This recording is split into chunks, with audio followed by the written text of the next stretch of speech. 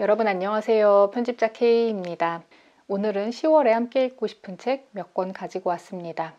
첫 번째로 보여드릴 책은 제가 10월이면은 항상 좀 소개시켜드리는 것 같은 책인데요. 바로 요 김승욱 문학상 수상 작품집입니다. 등단 10년 이상이 된 작가분들이 지난 한 해 동안 문예지에서 발표한 단편들 가운데 7편을 뽑고 그 7편 중에 한 편을 대상으로 선정하는 시스템으로 이루어진 상이에요. 그래서 올해는 이렇게 대상 작가가 편혜영 작가님으로 결정이 되었습니다. 우수상 수상작의 리스트도 정말 화려하죠. 그래서 이제 편혜영 작가님 대상 수상자를 제외하고 등단 순으로 정렬이 되어 있는데요.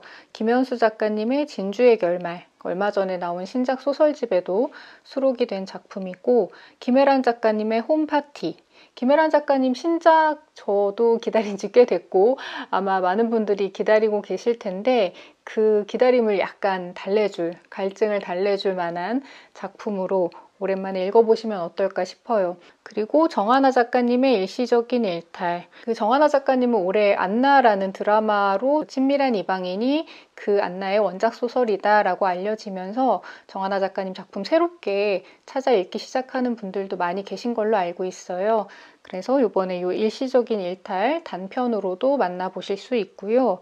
그리고 문지혁 작가님의 우리가 다리를 건널 때 문지혁 작가님은 초급 한국어라는 장편으로 알고 계신 분들 많으실 텐데요. 이번에 처음으로 김승옥 문학상 수상작품집 리스트에서 그 이름을 발견하게 된 작가분 중에 한 분입니다. 그리고 백수린 작가님. 의 아주 환한 날들 이 작품도 너무 사랑스럽고 엔딩 부분에 굉장히 뭉클해서 저도 읽을 때마다 좀 눈물이 찍 나고 했던 작품이거든요. 그래서 이렇게 아주 내실 있게 화려한 라인업으로 올해 김승옥 문학상 수상작품집이 출간이 되었습니다. 그래서 이 각각의 수상작을 읽으실 수 있고 그 뒤에는 작가분이 짧게 쓴 작가 노트가 덧붙어 있고요. 그리고 그 뒤에는 심사위원들이 이 작품 하나씩 맡아서 작품에 대한 리뷰 3개의 원고가 한 세트로 되어 있어요. 그래서 작품, 작가 노트, 리뷰 이렇게 함께 읽으실 수 있습니다.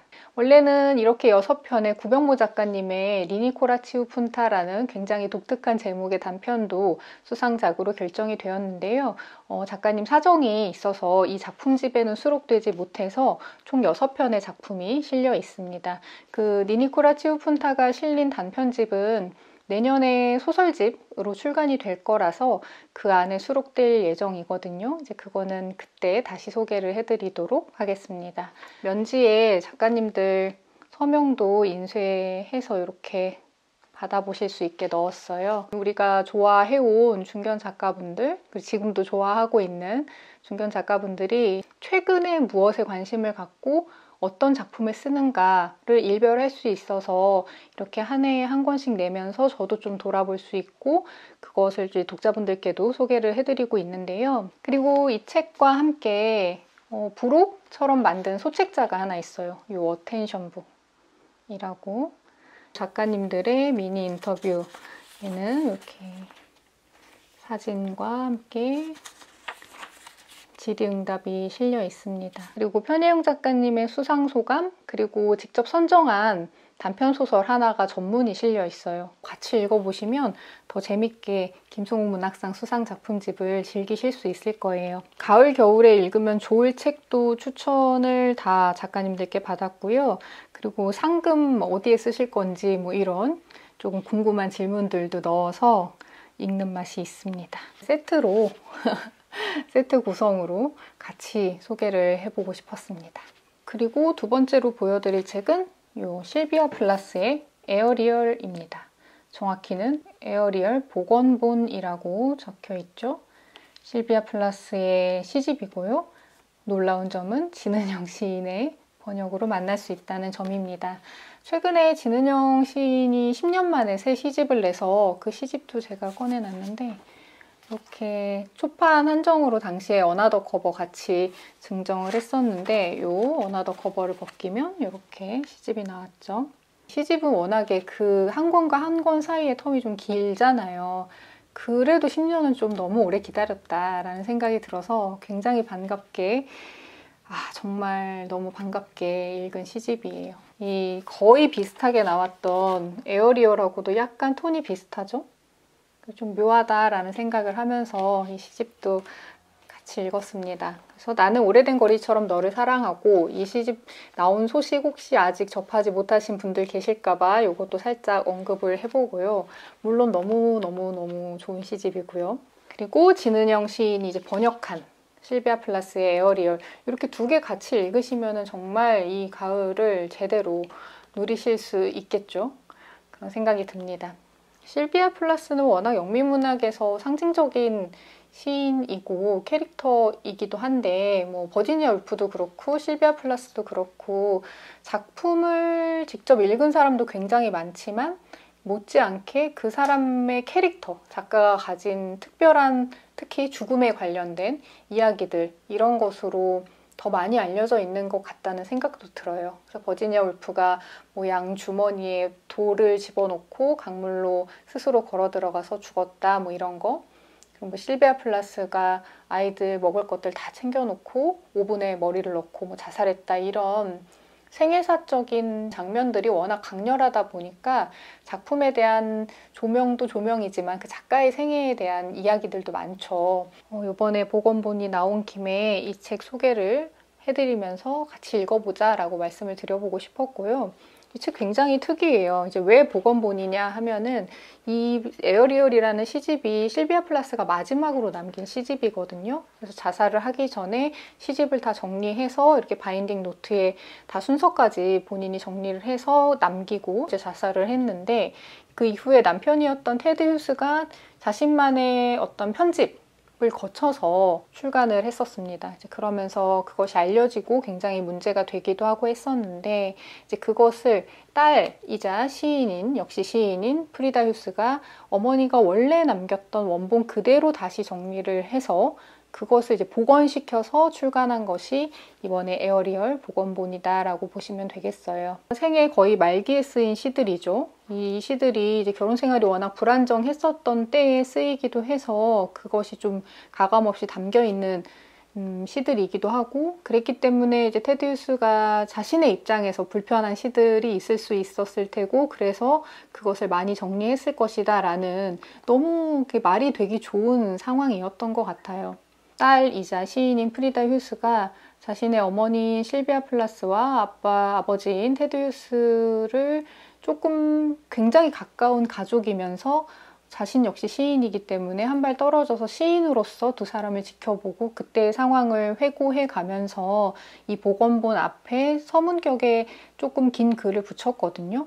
그 글이 정말 너무 좋더라고요. 너무 잘 쓰인 글이고 최근에 읽은 가장 인상적인 글이었었어요. 그러고 나서 이제 시를 읽기 시작하니까 훨씬 더 좋더라고요. 프리다 휴스의 서문을 skip하지 마시고 꼭 읽어보시기를 권해요. 제가 그 몇 대목을 한번 읽어볼게요. 어, 일단 이 에어리얼이라는 시집에 대한 어떤 팩트들이 나열이 되어 있어요. 1963년 2월 11일 어머니는 자살로 생을 마감하면서 책상 위에 검은색 스프링 바인더를 남겼고 그 속에는 40편의 시 원고가 들어 있었다. 어머니는 11월 중순에 마지막으로 이 원고를 배열하는 작업을 했던 것 같다. 음, 어머니는 에어리얼의 원고를 사랑이라는 단어로 시작해서 봄이라는 단어로 끝나게 만들었다. 이는 분명 결혼 생활이 파탄나기 직전부터 새로운 삶의 결단에 이르기까지를 망라하고 아울러 그 사이에 겪은 극심한 고통과 분노를 담도록 의도된 것이다. 에어리얼의 출판을 검토하면서 아버지는 딜레마에 빠졌다. 아버지는 어머니의 시들 중 일부에 어머니와 가까웠던 이들, 즉 자신, 외할머니와 외할아버지, 아버지의 삼촌인 월터, 뭐 등등등까지 갈기갈기 찢어버리는 극단적 광포함이 있음을 잘 알고 있었다. 아버지는 그 책이 독자들을 멀어지게 하기보다는 그들에게 더 많이 받아들여질 수 있도록 책에 더 폭넓은 균형감을 부여하기를 바랐다. 아버지는 어머니의 작품이 표출한 분노의 주제들 중 하나였음에도 불구하고 어머니의 작품에 대해 깊은 경외감을 갖고 있었다. 아버지에게 어머니의 작품은 귀중한 것이었고 그것을 돌보는 것을 찬사의 방법이자 책임으로 보았다. 그러나 어머니를 스스로 목숨 끊게 만든 통점은 낯선 사람들에게 넘겨졌고 그들이 점유하면서 새로운 모습이 만들어졌다. 그렇게 어머니는 다른 사람들의 마음 속에서 더 이상 자신과 닮지 않은 한 여성이 되어 있었다. 어머니가 그 시들을 쓴 순간이 어머니의 온 생애에, 온 인격에 적용됐다. 마치 그 시들이 어머니의 경험의 총합인 것처럼. 어머니는 모든 정서적 경험을 천 조각처럼 사용했다. 그 조각들을 짜맞춰 멋진 드레스를 만들 수 있다는 듯이 자신이 느낀 그 어떤 것도 낭비하지 않았다. 그 격정적인 감정들이 통제가 될 때면 어머니는 믿을 수 없을 정도의 시적 에너지를 집중시키고 지휘하여 위대한 결과를 낼 수 있었다. 그리하여 불안한 정서적 상태와 벼랑 끝 사이에서 아슬아슬하게 균형을 잡고 있었음에도 불구하고 놀라운 성과인 에어리얼이 나왔다. 결국 이렇게 말할 수밖에 없다. 실비아 플라스 자신의 언어야말로 그를 가장 잘 묘사해주며 시시각각 변하던 그의 기분은 그가 세상을 보았던 방식과 가차없는 눈으로 자신의 주제들을 붙잡았던 방식을 뚜렷하게 보여준다. 새롭게 복원된 이 판본은 그 순간의 나의 어머니이다. 아버지의 편집으로 출간되었던 에어리얼의 기초이다. 두 개의 역사가 하나임에도 불구하고 각 판본은 각각의 의미를 갖는다. 진짜 멋있죠? 이 글을 쓰는 것 자체가 엄청난 압박감과 고통과 그러면서도 엄청난 사랑의 힘으로 쓰지 않았을까라는 생각이 들어요. 그래서 뒤에 이제 실비아 플라스가 마지막으로 정리했던 시들 그 순서대로 진은영 시인의 번역으로 만나실 수 있고 또 하나 특별한 점은 이 시집에 실린 시들의 원문이 담겨 있어요. 그래서 이렇게 실비아 플라스가 직접 표시했던 그 흔적까지 볼 수가 있습니다.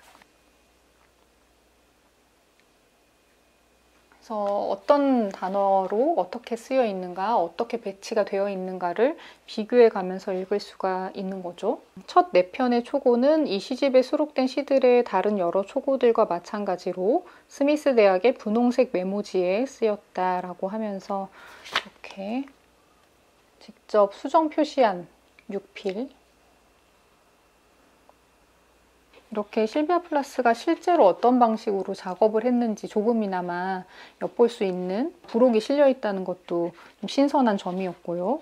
그래서 하나의 시집이 어떤 방식으로 편집되어서 출간될 수 있는지 그리고 그것을 복원시킨다는 것은 어떻게 가능한지 어디까지 복원해야 복원본이라고 할 수 있는지 어, 저는 이제 편집자이다 보니까 그런 여러 가지 생각도 좀 하면서 읽게 되었던 시집이었습니다. 그래서 평소에 실비아 플러스에게 관심이 있었다라거나 뭐 진은영 시인의 번역으로 읽어보고 싶다 하시는 분들 계시면은 이 복원본이 굉장히 반갑지 않을까 생각을 해보았습니다. 그리고 세 번째로 보여드릴 책은 많이 보셨겠죠? 15만 팔로워에게 사랑을 받은 펀자이시 툰의 첫 단행본입니다.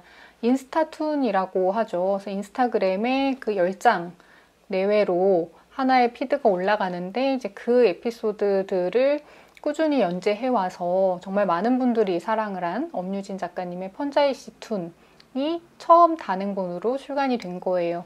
지금 이렇게 1, 2권 두 권이 출간이 되어 있고요. 아마 이후에 더 추가가 돼서 출간이 되겠죠. 아, 살만하다 하는 흔치 않게 그런 생각을 하는 순간이 이제 엄유진 작가님 어, 인스타툰 볼 때인데 단행본으로 묶여나와서 한 번에 보니까 그리고 큰 판형으로 보니까 속이 좀 뻥 뚫리는 데가 있더라고요. 연필선이 잘 살아있는 그림이죠. 보기에도 편하고 인스타 그 정사각형 안에서 봤을 때는 어떤 좀 압축이 되고 밀도가 있어 보이게 그래서 하나하나 그 연결감을 느껴가면서 보는 맛이 있지만 이렇게 단행본으로 만났을 때는 좋은 그림들 좀 크게 보고 이렇게 공간감을 활용할 수 있다는 거 이게 정말 이건 단행본의 특징이고 장점이지라는 생각을 하면서 읽을 수 있었어요. 특히 이 1권 어디로 가세요 펀자이 씨는 엄유진 작가님의 뭐 어린 시절 그리고 잘 적응하지 못했던 어떤 시절들 음, 사람들과 어울리는 것, 그 관계를 맺는 것 자체의 어려움을 많이 느꼈던 그 시절을 지나서 영국으로 가서 좀 새롭게 내 세계가 열리고 확장되는 그 시기를 그린 그러다 보니까 이제 큰 판형이 더 잘 어울렸던 것 같다라는 생각도 들고요. 이런 거는 그냥 정사각형 작은 화면으로 보기에는 너무 아쉬운 그림이잖아요. 그리고 이렇게 넘겼을 때 딱 이 그림을 마주하는 그 공간감이 확실히 아, 단행본으로 소장해서 읽을만 하다라는 생각이 많이 들었습니다. 그리고 이 권에서는 이제 태국 분인 남편분 과 어떻게 결혼을 하게 됐는지, 뭐 어떻게 한국에서 살기로 결정을 했는지 등등, 또 이제 딸아이를 낳고 기르는 일들, 그리고 이제 많은 펀자이시툰 팬분들이 염유진 작가님의 부모님을 많이들 좋아하시잖아요. 저도 그렇거든요. 아버지는 철학자이시고 어머니는 소설가였고 또 학생들을 가르치시기도 했던 분인데 이 두 분이 너무너무 사랑스러우시고 그리고 우리가 좋은 어른이라고 했을 때 어떤 이상적으로 생각하는 정말 그 이상형에 가까운 분들이세요. 너무 볼 때마다 놀랍고 많이 배우게도 되고 엄청 웃기도 많이 웃게 되고 그래서 굉장히 특별하면서도 또 보편적인 가족의 이야기를 담고 있어서 정말 어떤 분께 추천을 해도 다 재밌게 읽을 것 같은 책이라는 생각이 들었어요. 가족들이 같이 돌려 읽어도 너무 좋을 것 같고 선물하기에도 되게 좋은 책이고 그리고 우리 왜 요즘 뭐 인류의 파사상 뭐 이런 거 많이 쓰잖아요. 저도 많이 쓰거든요. 그럴 때 이거 읽으면 그래도 조금 채워진다. 인류애가 내 안에 아직 조금 남아있다라는 느낌을 받을 수가 있습니다. 그래서 아주 소소한 일상, 작은 행복, 가까운 사랑, 그 작은 이야기를 보편적인 것으로 만드는 것이 참 어렵잖아요. 근데 이제 그런 것을 이렇게 잘 해냈을 때 그게 갖는 파급력, 그 효과가 얼마나 큰가를 좀 새삼 알 수 있었던 책이었어요. 그래서 너무 즐겁게 읽었고 인스타그램에서도 지금 계속 올라오는 피드들도 엄청 재밌게 읽고 있습니다. 네, 여러분 이렇게 10월에 함께 읽고 싶은 책 세종이지만 진은영 선생님 시집과 또 펀자이시2는 두 권짜리라서 한 다섯 권을 보여드렸습니다. 음, 가을이라 그런지 엄청 재밌는 소설을 읽고 싶더라고요. 그래서 제가 제 뭐 인스타그램 스토리랑 그리고 지금 커뮤니티에도 올려져 있는데 여러분들의 인생 소설, 장편 소설 중에 인생 소설 무엇인지 궁금하다 이렇게 올려놓기도 했거든요. 거기에 굉장히 많은 답변들이 달렸어요. 그래서 이것을 아 나만 볼 순 없겠다라는 생각이 들어서 한번 정리해서 영상으로도 만들어 보면 좋겠다라고 지금 생각을 하고 있습니다. 그래서 그 답변들 특히 인스타그램 스토리는 제가 공유를 해드려야 보실 수 있으니까 그 답변들 궁금하다 공유해 달라라고도 많이 말씀을 해주셨는데 제가 너무 늦지 않게 그것도 정리 한번 해서 영상으로 만들어서 가지고 올게요. 그럼 저는 다음 영상으로 다시 찾아뵙겠습니다.